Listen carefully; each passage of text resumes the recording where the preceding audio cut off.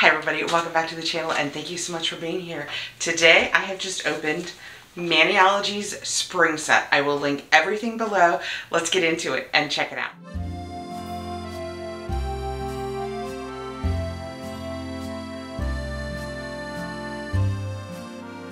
This is a spring set that Maniology has put together. It has spring, Easter, St. Patrick's Day, lots of good stuff. I am doing this on, today is March 7th I think, so we're gonna go St. Patrick's Day. Way, if I really love it, it'll give me a chance to do yet another one, and then we'll have a couple of weeks of Easter, and then all of the springy things. I'm gonna move us down to the table and hope that I can pull in tight on these, and I will show you everything I've got. I am sans makeup, bare nailed. We're gonna get into these and make some fun nails. Okay, I've pulled it a little tighter than we normally do. Hopefully everything will be nice and not blurry. This is the spring kit. They sent it over for me and I am an affiliate with Maniology, but I love doing this. This is like self-care that is so much fun. Let me show you what is in the spring kit and I will link it below. We're gonna have three plates, three polishes, and when you get one of their kits, because they're not sure if you're new to them or not, you will get a crystal clear stamper. This is the stamper and it's a silicone top. I'll show you how we use those in a minute. I have a few different shapes. Honestly, I am not perfected enough at this yet to know which shapes are perfect for which. And you will also have one of these in the box. It is a scraper and I will show you how we use that. The three nail lacquers that we have in here, it's the sun shower set. I have opened them upside down, but you know what? Oh my gosh, how perfect are these? We have rosebud, marigold, and bluebell. How perfect are these for spring? These are great. And I don't think I have any like these in my collection. I have a couple of cute pinks, but not this one. So that works great. I'm not sure we're going to use those today because like I said at the beginning, I'm really leaning toward doing the St. Patrick's Day. Plates just slide out of these sleeves. You can then store them in here. You can store them out. Some people just like keep them in shoe boxes. I have a little book that they slip down in. Plenty of choices. This one is the Easter Bunny. You can see the stripes that would make your nail look like an egg. And then we have the all over prints, which is what I tend to do. You have the smaller individual prints that if you can do reverse stamping, which I don't do yet, you can use those, stamp them in black or white, color them in with all of the colors. When I use the bigger ones like these, or even these, you just do a small section of them, but this is the Easter one. I cannot wait until we do those. This one is also very springy. It's just the bigger ones that you can take sections of and there are bunny ones and bunnies with carrots and there's just some flowers. These are such pretty, they almost give like a 70s vibe flower. So many good choices on here that you can use for Easter and then further into spring or summer depending on how you choose to do your colors. This is the St. Patrick's Day one. This is the one we're going to use today. So we have shamrocks and oh, we have different kinds of rainbows and leprechauns and this looks like a little leprechaun belt.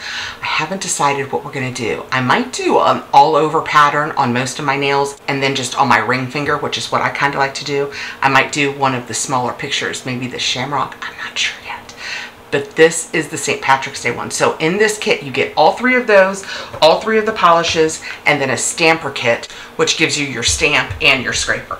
I also have this is a silicone pad so that when I'm using like my acetone in here, if it happened to fall over or if I set down one of my cotton balls, not an issue. Okay, since I think I'm gonna do this two weeks in a row, I'm gonna go with a more subtle one for this week. So I'm going to use, believe it or not, this all over one because the all over ones tend to be a little more subtle. And I think next week I'm going to do the shamrocks just all over my nails. And then I'll do this on my ring fingers for that. So I think this week we will do this one. And then on my ring finger, this is like a little leprechaun belt with a shamrock in between each one. I might, I might try and do something like that on my ring finger. So let's start playing with this. First, I've got to pick colors. We're going to do a dry run. I'm going to try this green, which is Willow which is the green I am leaning toward. And I want to see if this marigold from this month will show up over that because then it'll be kind of like green and pot of gold theme going on. But the beauty of this silicone mat is you get these little fake nails over here and these are the last two that I have done. I almost always try what I'm going to do first just to see if I like the colors together now. So I'm just going to put a little bit of this, we'll scrape it Then you just lift it with this. We got a great pickup on that. And let's see if it's going to show on here. It is. Can you guys see that though? It is very, very subtle. But you can definitely see it. I think I'm gonna go for that. And because I'm not gonna show you myself doing this the whole time, something else is between each time you use the plate, I use this little tool. You just put some acetone on it and then you have to clean the plate between each use. Get all of the lacquer or get all of the polish that's gotten down in there or it will just lay in there and it will stop you from getting a good pickup the next time. So you have to clean it between each use. You also want to clean this off of any residue that's left on it and there are many ways. People use lint rollers. There are just a million things you can use. I find tape, just regular old scotch tape, to be the easiest. I just go over it. If I had been just stamping my nail, you can lay it on your skin. It will pick up so much of that. You're ready to go. If I were ready, I could just move on to the next nail. I've been really collecting some of their nail polishes between what I choose and I purchase and what they send to me. I've got quite the collection now, but I've just realized that I do have a deficit. I don't have a glittery gold. Oh, this is a little more red than I thought. This, this might look a little more Christmassy, but since it had some glitter to it, I thought we might like to try that on top of the green. Let's see if it looks Christmassy when it's on the green.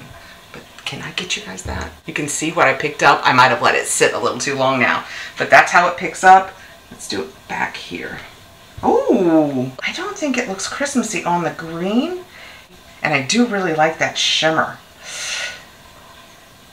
I might have to do that one. By the way, that new shimmer color that I'm thinking about using is called Rudolph. So I think probably it is supposed to be kind of red, but over that green, I think it turned more orange. So I may try this on one of my nails. But the first thing I have to do is I'm just going to go ahead and take this willow and paint all of my nails. All right, we've got a great green color on it now. Love that green for St. Patrick's Day. It is perfect. So now we're gonna start with this. I'm gonna do that on all of my nails, except for my ring fingers. We'll do something different with those and I've decided we're going to go ahead and give this Rudolph a chance and we're going to hope that when I use it, it does not look like Christmas.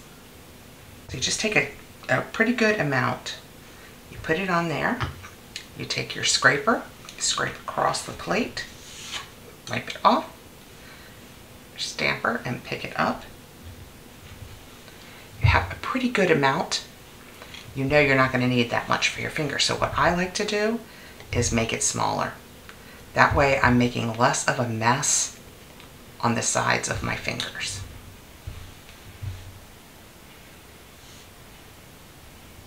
Nope, we're not gonna do that. Can you even see that design that I did on my pinky? If I tilt it, you might can see it. I want it to be more obvious than that. So I'm gonna put another coat of green on there and we're gonna hope that it makes it so that I can cover it up with a different color. I think I'm just going to use the black. Do they call it just black? No, they call it straight up black. I'm going to use that on my ring fingers for the buckles. While we're waiting for my pinky to dry, let's do this one. Try and do the buckles separate from the shamrocks in this little design. After I got this done the first time, I kind of wished that I had just done the buckle that was nearer the tip of my fingernail that would kind of make it look like just like a French instead of having both buckles. I went back and forth. That's the beauty of all of this is you only wear it for about a week so you can learn from what you think you like and what you don't. You can do it all again differently next time. It's just such a fun creative experience. But I didn't like my pickup on those first buckles, so easy peasy. I just cleaned it off. I'm going to paint it, scrape it, do it again, and you will see me cleaning it up with the scraper. I used to try and get tape in there, and I've been watching a lot of the videos that Maniology does on YouTube also. And after you do your pickup, you'll have things, you'll see me cleaning it now, that you don't want to stay on your stamper because you don't want them to end up on your nail. So one of the easiest ways to clean it up is just to use your scraper because it lifts it and it's a little flexible and I even got it to get the piece that was between the two buckles easy peasy lifted out of there. So we're going to give this, I'm going to do it on both nails. See how it looks like little leprechaun belt? That is so cute. So we're going to put a shamrock right between those. And what I'm doing here is I decide to clean my scraper since I'm going from the black to the white better to do that than to drag some of the color through the white. Also, you'll notice I'm not worried about the acetone because I have that nice silicone mat underneath. I'm going with an old standby. We're going to try the white and see how we like that. And if we go with that, I might change up my whole design. So what we're going to do in trying the white is I'm just going to try, there's a tiny little shamrock that can fit between the two belts that I'm doing. And we're just going to pick that up and give it a try. I like the way it works. Again, the easiest way to clean what I don't want on the stamper off before I stamp my nail is to just use that scraper. And I'm taking off everything but a tiny little white flower on this. I try it with the white and I really like it. I always love the way white pops on nails. I use white very, very often because it just shows so well. I've also realized, see the stripes that I've pointed to that are right next to where I was working? Those are for the belt buckle that I've put on. You can make a belt now. So you're just, I'm going to make stripes and then clean them up and take the cleanest part of them. And you can take stripes and make the actual belt of the buckle. So I do that. While I was doing it, I was thinking it would also be great to use this for Christmas because it kind of looks like a Santa belt too, not just a leprechaun. So that would be really fun to use. So now I'm just going to put stripes all around all of the buckles that I've already done. Another thing is you'll see that the stripes are really deep. See how they're wide and you can see the brushed color underneath? That means it's a really deep engraving. And you want to be sure you put plenty of paint down in there. When I cleaned this one up, I realized that if I wanted to, I could take my line and split it. So this is what I end up with on my ring fingers, are the two little belts with the little shamrock in between them. And now it's time to move to the all over design that we're going to do on all of my other nails. I sometimes do both of my ring fingers, and the reason I do that is so that when I start doing my second hand, I don't actually forget to do my ring finger differently. But I decided to trust myself today. So I make my all over print. And then just like I cleaned up the belt buckles, I make the print on the stamper smaller so that when you see me stamp my pinky here, it's not getting so much all over my finger. It still does. And we'll clean it up and it'll be perfect. I like to clean it up with tape.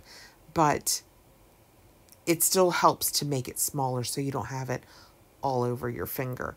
It's that's one of my favorite hints is just make the prints smaller. That is what the pattern that I'm going to use on all of my other fingers is. I think that is super cute and I will show you in the end how we can clean up because inevitably when you're doing the big ones that cover your whole finger you're going to get some on your skin. So I will go ahead and do the rest of my nails. I'll come back and show you guys what it looks like. When it comes to doing your top coat, the very first top coat you're going to want to do is the Maniology Smudge Free Top Coat.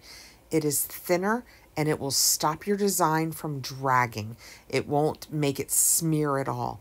But to have a better, going to last all week, you want to have a thicker. And I really love that Essie gel top coat. It's just the absolute best one.